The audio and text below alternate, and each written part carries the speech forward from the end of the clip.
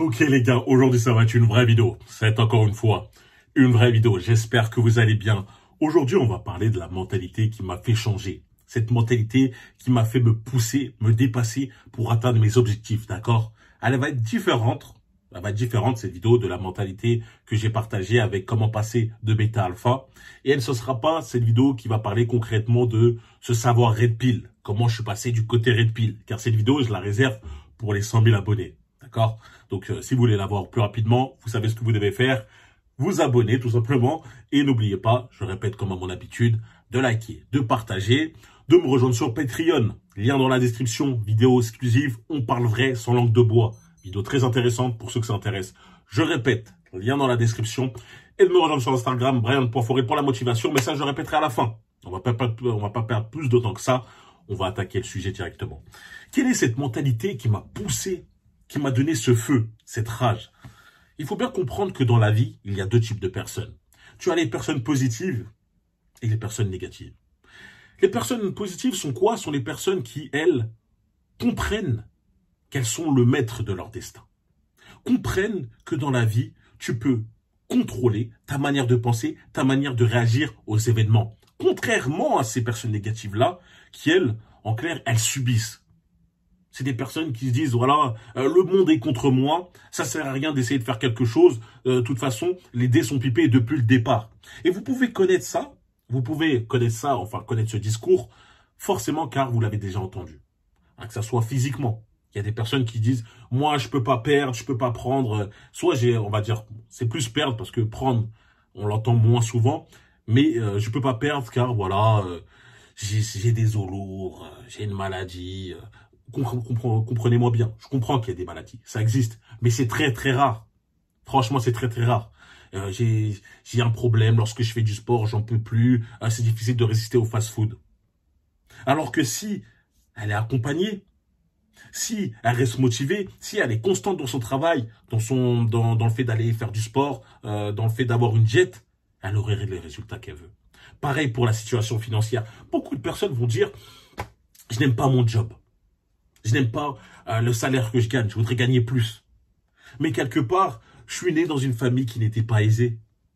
Je suis dans une famille qui n'était pas forcément à l'aise financièrement. Du coup, je dois me contenter de peu. Du coup, les opportunités, je les vois pas. À l'inverse des personnes positives qui, elles, vont dire, vont, avoir le même départ, les mêmes cartes que, ces autres personnes-là, mais vont se débrouiller pour dire, pourquoi pas? Pourquoi pas? Pourquoi, pourquoi je ne pourrais pas évoluer? Pourquoi, je ne pourrais pas aspirer à avoir ce salaire-là? Il y a des personnes, ils ont peur de dire ce qu'ils voudraient gagner. Car autour d'eux, ils sont mal entourés. Autour d'eux, ils sont entourés de personnes qui vont les juger, qui vont essayer de les rabaisser. D'où l'importance d'avoir un cercle privé extrêmement important. Moi, j'ai des potes. Mes potes, c'est que des personnes qui vont vous pousser à aller plus loin. Des mecs qui me motivent, qui me disent, Brian, ce que tu fais, c'est bien, mais c'est pas assez. Là, j'envoie deux vidéos par, semaine. Il me dit, c'est bien, t'as enfin compris d'être régulier. Mais c'est pas assez de vidéos par semaine. Faut, faut essayer d'aller à 4, à 5. Donc déjà, moi, je vous le dis, je vais augmenter le rythme. Toujours en essayant de garder euh, la qualité des conseils, en essayant de garder la qualité du contenu que je peux vous proposer. C'est le but. Mais en clair, tout ça pour vous dire que dans la vie, si vous comprenez que vous pouvez contrôler votre, acte, contrôler euh, vos actes, contrôler votre, manière de penser, rien, rien ne peut vous arrêter. Ça fait un peu film, tu es le maître de ta destinée. Ouais, mais concrètement, c'est le, facteur game changer, comme on dit. C'est ça qui va vous faire décoller. Il est plus simple de se dire, voilà, euh, je n'arrive pas à perdre du poids à cause des fast-food et de l'industriel, donc je reste comme je suis. Il est plus simple de trouver cette excuse. Il est plus simple de dire, voilà, mes parents m'ont pas éduqué financièrement, j'ai grandi dans une famille qui n'était pas aisée, qui n'avait pas beaucoup d'argent, donc voilà, je me satisfais de mon job. Je cherche pas à vouloir plus. Même si dans mon fort intérieur, c'est ce que je veux, mais voilà, non, je préfère rester dans cette zone. C'est leur faute, c'est pas la mienne. C'est facile de se trouver des excuses. C'est facile de se dire, je suis impuissant face au monde. Moi, je ne fais que subir. Changez cette mentalité. Au contraire, dites-vous que vous êtes au contrôle de votre vie. Vous êtes au contrôle de votre manière de penser et de réfléchir. Je n'aime pas où je suis, je vais mettre les actions en place pour changer. Et lorsque vous êtes régulier, lorsque vous êtes constant, les résultats sont probants. Ils sont là, à coup sûr. Je vous le dis. Je vois tellement de vidéos de transformation qu'on m'envoie par message. Et c'est pour ça que ça me fait, ça me fait toujours rire quand j'entends des personnes qui disent j'ai du mal à perdre du poids. Je peux je peux te, te, donner 500 exemples que c'est faux.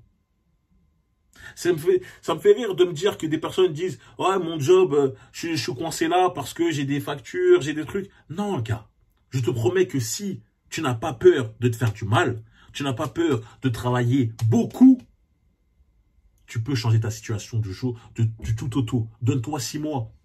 Beaucoup de gens surestiment ce qu'ils peuvent faire en un mois, mais sous-estiment ce qu'ils peuvent faire en six à un an. En six mois, tu peux absolument te métamorphoser, qu'on ne te reconnaisse absolument pas.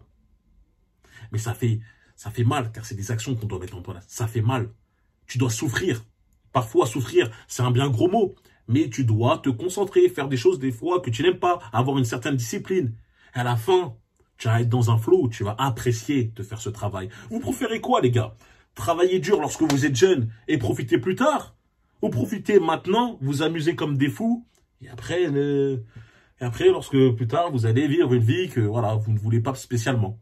Ça veut pas dire, parce que là, ça veut pas dire que quand je dis vous allez travailler dur, vous allez jamais avoir de moment de repos. C'est faux. Le week-end, le soir, on se repose tous. Il y a un équilibre.